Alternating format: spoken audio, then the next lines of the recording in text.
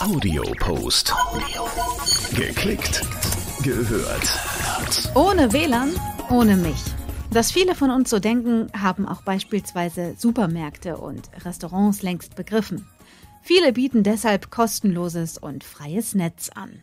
Man muss sich nur schnell als Gast einwählen oder ein paar Häkchen setzen und los geht's. Es handelt sich hierbei um unverschlüsselte Verbindungen. Bei einer verschlüsselten Verbindung wird im Vorfeld ein Schlüssel ausgetauscht und nur wer diesen kennt, kann sich mit diesem Access Point verbinden.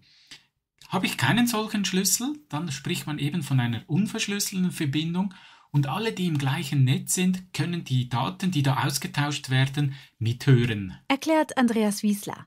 Er ist Inhaber der Firma Go Security und berät Firmen und Privatkunden zum Thema Computersicherheit.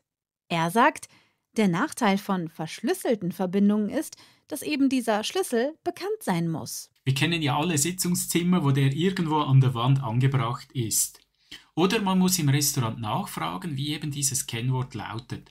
Und das ist sehr mühsam und daher haben viele sich entschieden, die Verbindung gleich offen zu lassen. Aber was ist mit kurzen Ausnahmesituationen, beispielsweise wenn wir am Bahnhof stehen und uns nur mal schnell in ein freies WLAN einloggen, um eine Zugverbindung zu checken.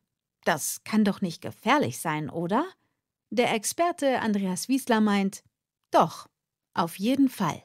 Bei offenen Verbindungen kann ich mit entsprechender Software jegliche Kommunikation abhören. Es gibt sogar Tools, die spezialisiert sind und nur Passwörter aus dieser Verbindung herauslesen. Er empfiehlt deshalb Folgendes, um die eigenen Geräte zu schützen. Ja, ich empfehle hier Apps zu nutzen, die jegliche Kommunikation Ende zu Ende verschlüsseln. Das heißt von meinem Gerät bis zum Gerät des Gesprächspartners. Dazu gehören beispielsweise Signal oder das aus der Schweiz stammende Trima. Der Computersicherheitsprofi Andreas Wiesler rät immer sichere Apps zu verwenden um bei unverschlüsseltem WLAN kein Risiko einzugehen. Ja, genau, absolut richtig. Daher immer sichere Apps verwenden.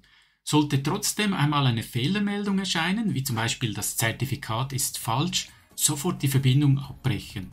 Kommt keine, dann sind meine Daten auch geschützt.